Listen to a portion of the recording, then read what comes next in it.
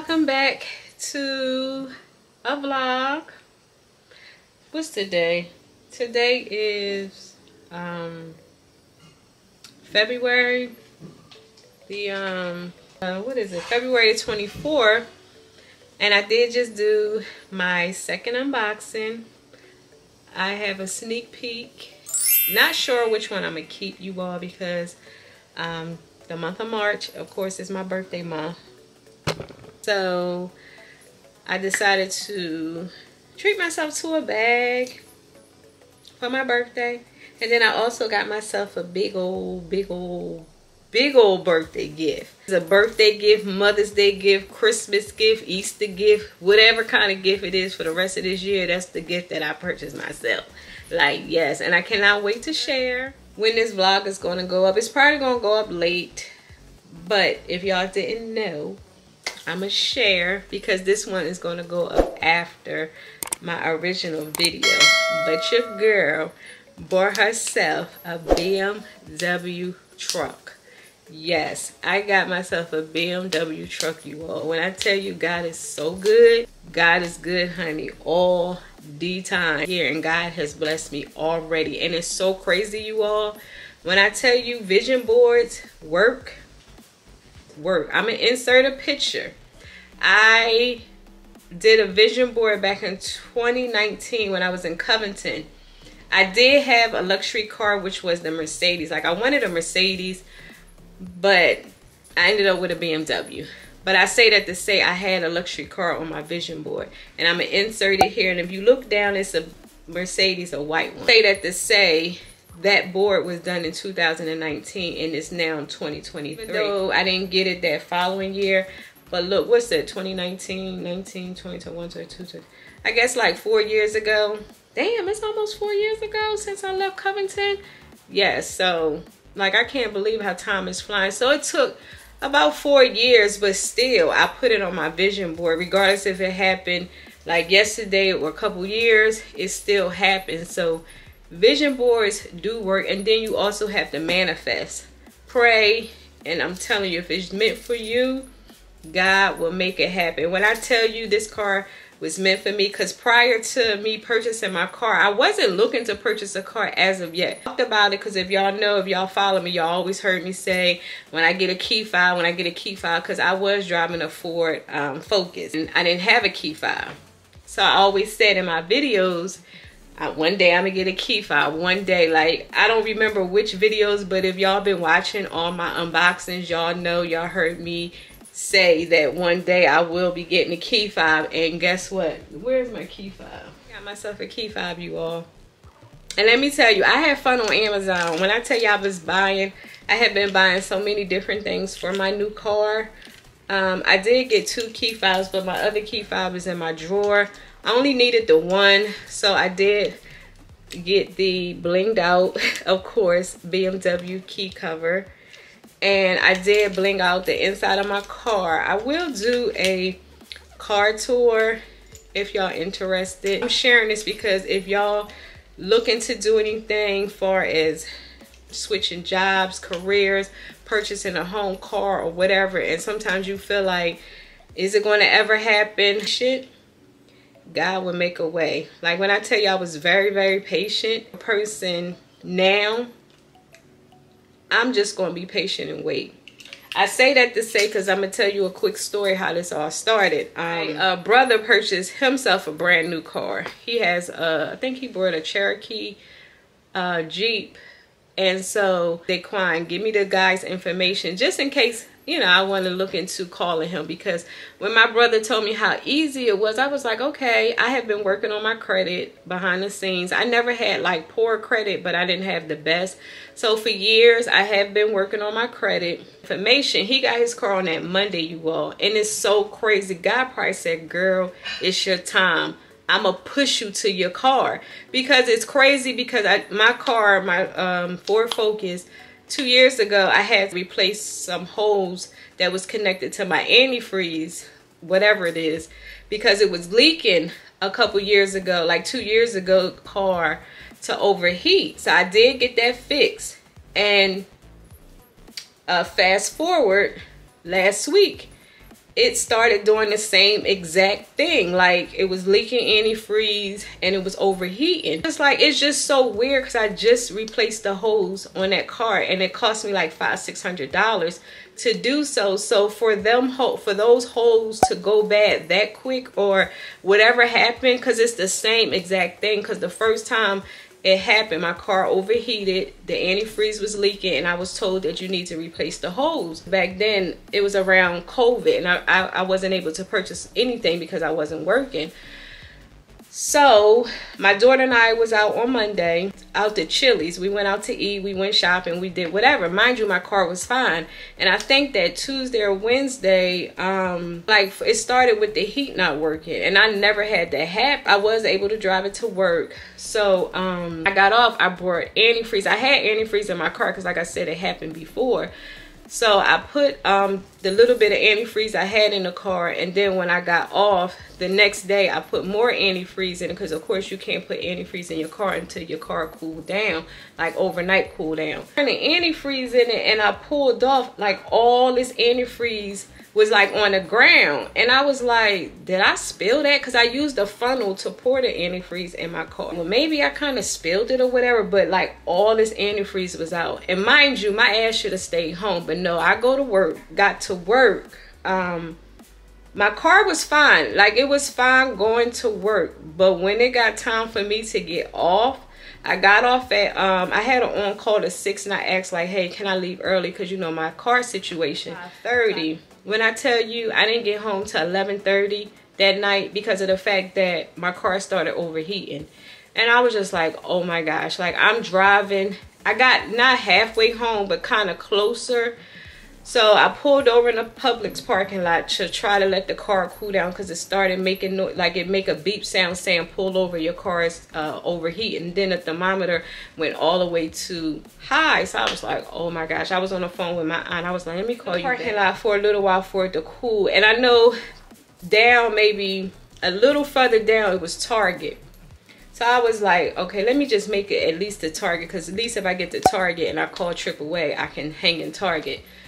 So I pulled out of Publix. I made it. I didn't get a chance to make it straight to Target. I had to stop in the LA Fitness because again it overheated really quick, and I was just like, "Oh my gosh, please Lord, let me just make it to Target." The LA Fitness parking lot, and I eventually made it to Target. So I called AAA because I have AAA, and you know I was there waiting for three hours for my car. But what I should have done, I wasn't even thinking until the last minute I should have just left my car, took a Uber, and went home. But I'm just like, okay, I can wait. I was in Target walking around. I picked up my online order because I ordered uh, more uh, uh, plant dirt for my plants.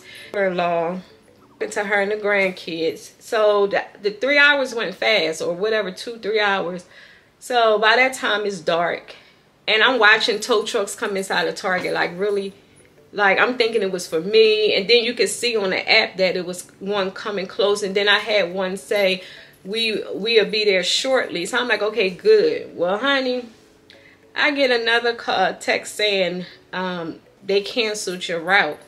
So at this time I think it was like five six seven eight nine it was like nine something almost ten. So I'm pissed. Seriously like I sat here all this time so I was just like, all right, I stay here for all this time. My car had to cool down. So I was like, all right, let me go and try to make it home at this point because it's getting late, you know.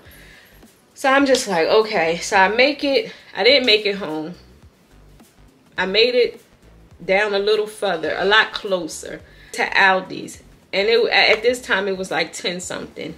And I was like, all right, I'll sit at Aldi's to wait because I think she said another hour or something. So I'm like, okay, I've been out here all this time. I might as well wait.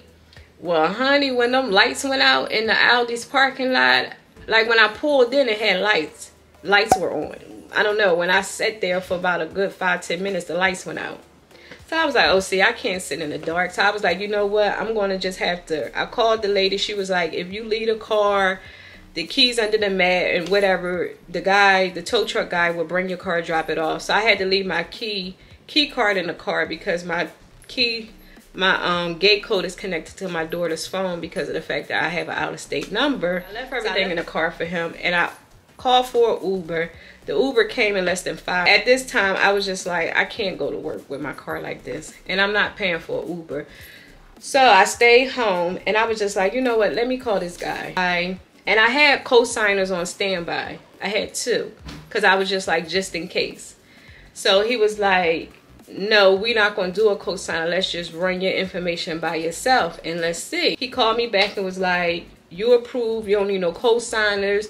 Um, you don't have you don't need no money down you don't have to trade your car mind you i didn't have to put no money down i didn't have to trade my car and i didn't have to do anything except for send my driver's license and my insurance card and show up and i was like that was nobody but god you all like i'm just saying that was nobody but god and then when it got time for me to i did all this on thursday i think he called me friday because i car the car had to be shipped because I went online. I found the car that had to be shipped from another location. I got my car on Saturday, but I had to work and I didn't want to rush myself because I did have to go all the way to uh, in Atlanta somewhere. So I was just like, okay, I'll just go on Sunday. It was Super Bowl Sunday.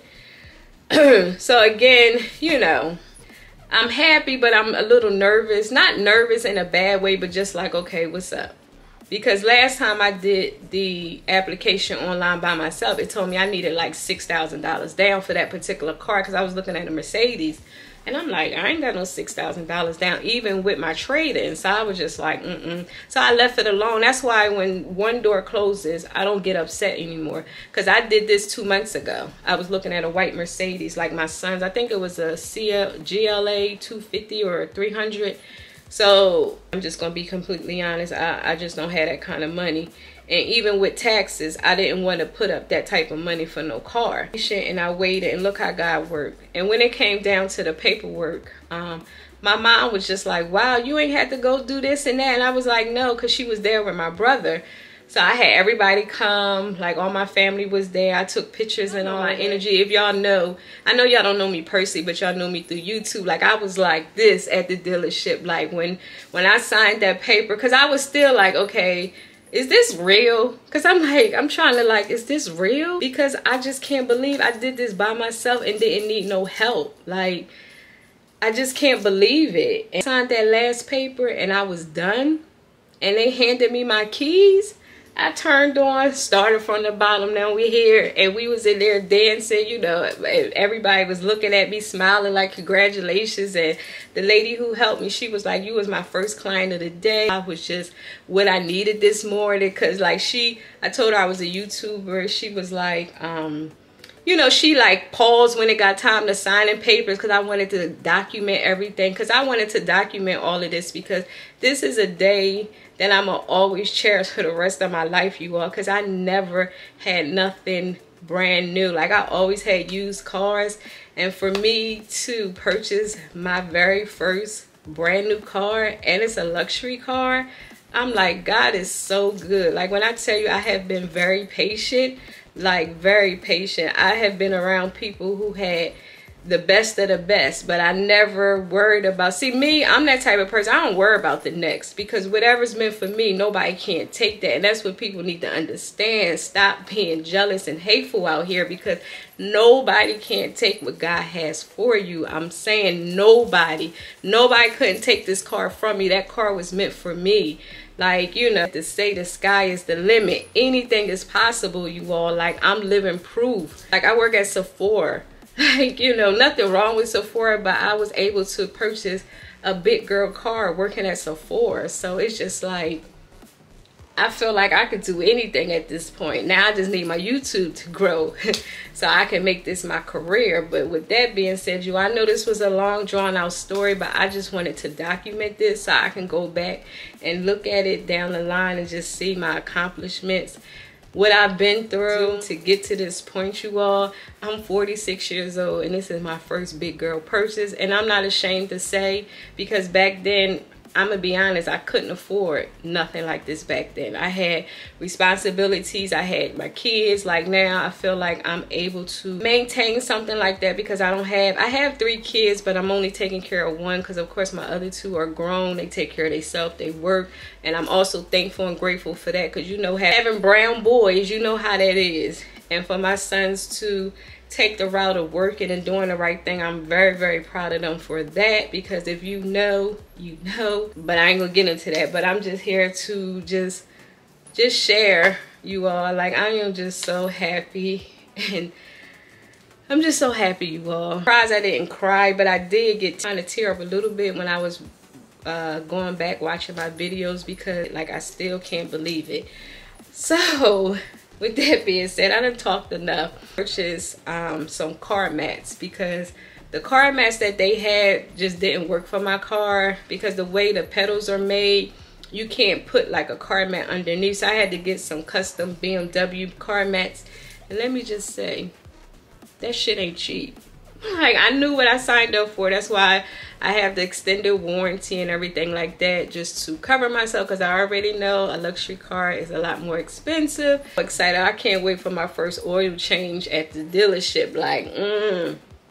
And then I also heard BMW do courtesy car washes. So of course I'm going to take advantage of that. My car match you all and I will be doing a car tour because I want y'all to see like um, the little accessories I purchased for my car. I did blink out the inside of my car. I didn't do it. I didn't go overboard. It was just, it's a little this and a little that sprinkled out throughout the car. Lights in the inside. Like, oh my gosh, it's just so beautiful. You are, every time I get in my car, I just smile and I'm happy. Like, God is so good. Like, look how he just pushed me into that car because if not i wouldn't have even tried to get a car because i was fine driving my ford focus i ain't even gonna lie because i ain't had no car note it's like i know that was you guy i heard you i listened and i jumped and i jumped and i'm thankful that i did so let me show you my car mats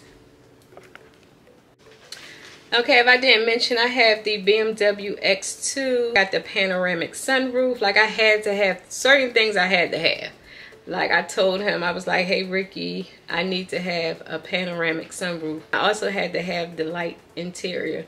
Like, I don't know what it is, but that light interior with that sunroof just hits and it just, whoo, chap. So, I got my BMW um, floor mats. Like I said, they say um, X2 right here. I'm that type of person, or go home. So here are my floor mats. So I am so excited. I get to put these in my car. Do a quick car tour since I'm dressed.